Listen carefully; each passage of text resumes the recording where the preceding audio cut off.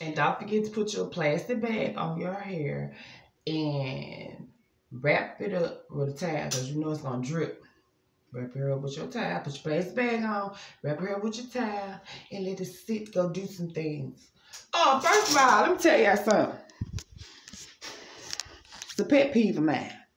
Okay? Men and women. Clean all your toilet. It's just nasty. Clean it out. Clean the whole damn thing.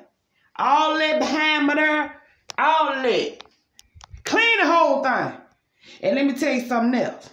With your tub, get you some vinegar, put it in the bottle. Then put you some fabuloso, whatever you like to put in there. And you put a little bit bleach in there.